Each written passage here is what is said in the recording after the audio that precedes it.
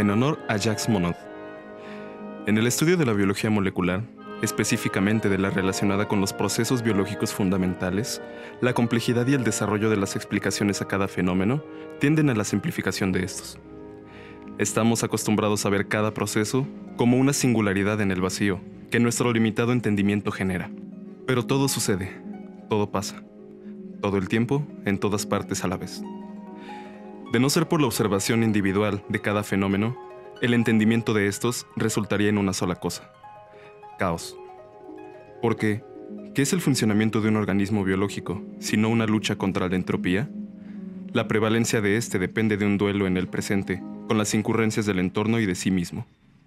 El caos es una fuerza de creación, una condición latente, a la cual cualquier nivel de organización biológica debe estar sujeto. ¿Dónde empieza esta resistencia? ¿Cuál es el sistema más esencial de resistencia y eficiencia? El día de hoy conoceremos a los operones. Si estás viendo esto, probablemente ya tienes una idea acerca de los conceptos fundamentales de la genética. De ser el caso contrario, te invito a aventurarte en el inconmensurable mundo del estudio de los genes.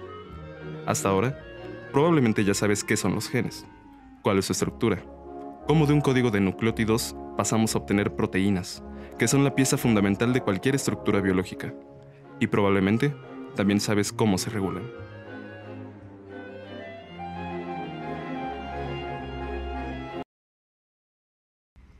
Ah, la nostalgia por un tiempo no vivido. Corría la década de los 60, cuando François Jacob y Jacques Monod revolucionaron el entendimiento de la expresión genética. Monod llamaba al hallazgo el segundo secreto de la vida. En su condición y capacidad de filósofo, él vio en este descubrimiento la capacidad de dar respuesta a las preguntas más elementales de la vida, mismas preguntas que llevaron a Aristóteles, Galileo, Einstein y miles de revolucionarios más a los límites del conocimiento de sus tiempos. Pero, ¿cómo pasó esto? ¿Cómo Monod y compañía llegaron a esta conclusión? Necesitamos algo de contexto primero. Para nosotros podría parecer algo obvio. Crecimos sabiendo esto desde nuestra educación más fundamental.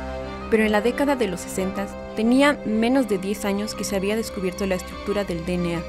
¿Puedes imaginar eso? Recién se acaba de descubrir la forma de la partícula elemental de vida y su composición, y además está demostrado y podemos experimentar con ello. A veces y, naturalmente, subestimamos lo importante y revelador que este momento fue. Pues este era el secreto de la vida para Monod y compañía. Un día, Monod entró a su laboratorio y dijo, creo que he descubierto el segundo secreto de la vida. Parecería hasta arrogante y presuntuosa su afirmación, sin embargo, lo que Monod descubrió fue lo que llamamos alostería, cuando una molécula altera su forma y actividad al unirse a una proteína, proceso vital en una célula ya que de esta forma se modula la actividad enzimática. De esta forma, en 1961, tras arduo trabajo y múltiples esfuerzos, se descubrió el operón de la lactosa tras análisis en E. coli. Este descubrimiento le dio a Monod y a Jacob el Premio Nobel en Fisiología o Medicina de 1965. Un operón es como el director de una orquesta genética, un conjunto de genes relacionados que trabajan juntos bajo un mismo promotor. Imagínalo como un paquete de genes que se transcriben como una unidad.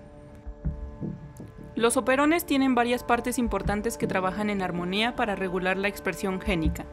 Primero, tenemos el promotor, que es como la señal de inicio para la maquinaria de la transcripción. Es el sitio donde la ARN polimerasa se une al ADN para comenzar a transcribir los genes del operón. Luego vienen los genes estructurales, que son los genes dentro del operón que codifican las proteínas necesarias para realizar funciones específicas en la célula. Pero aquí está el interruptor clave.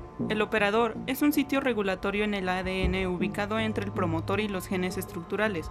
Actúa como una especie de control del tráfico para la transcripción. Si se activa o desactiva, influirá en la expresión de los genes estructurales.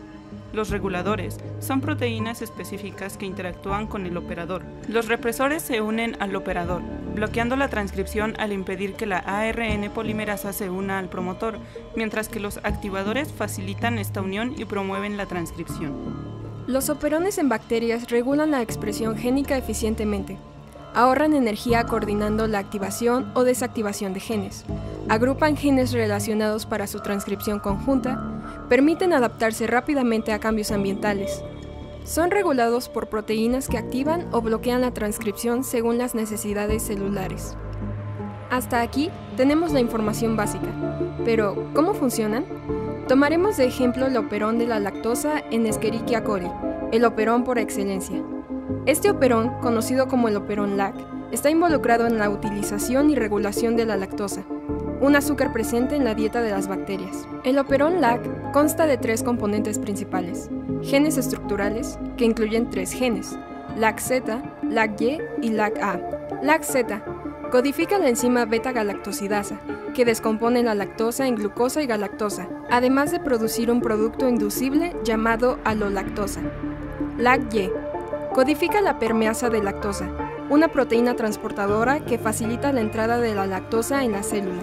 LAC-A codifica una enzima transacetilasa cuya función no está directamente relacionada con la lactosa y su papel en la regulación es significativo que los otros dos genes. El funcionamiento del operón LAC se ve influenciado por la presencia o ausencia de lactosa y glucosa en el ambiente bacteriano y está regulado por un represor específico llamado represor LAC. El represor LAC se une al operador y bloquea la transcripción de los genes estructurales en ausencia de lactosa. Cuando no hay lactosa presente, el represor LAC se une al operador, evitando que la ARN polimerasa se una al promotor y se transcriban los genes del operón. Sin embargo, cuando la lactosa está presente, esta actúa como inductor al unirse al represor LAC, cambiando su conformación y evitando su unión al operador. Como resultado, la ARN polimerasa puede unirse al promotor y comenzar la transcripción de los genes estructurales del operón LAC. Esto permite que la bacteria produzca las enzimas necesarias para descomponer la lactosa y utilizarla como fuente de energía. Es importante señalar que la presencia de glucosa también afecta la expresión del operón LAC mediante un fenómeno llamado represión catabólica.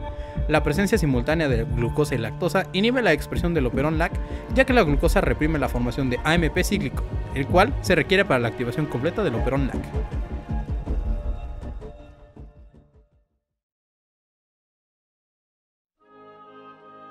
Los operones son una elegante manifestación de cómo la vida misma se adapta y se moldea para sobrevivir en un mundo en constante cambio. Desde el revelador descubrimiento del operón LAC N. coli hasta la comprensión actual de estos intricados mecanismos de regulación génica, nos enfrentamos a la magnífica complejidad y precisión en la que la naturaleza orquesta la expresión genética. Estos mecanismos, en honor a Jacques Monod y François Jacob, nos delumbran con su capacidad de coordinar, como directores de una sinfonía universal, la danza molecular que sustenta la vida. Nos invitan a reflexionar sobre la armonía entre el caos y la organización, revelando así una pequeña ventana hacia los misterios más profundos de la existencia.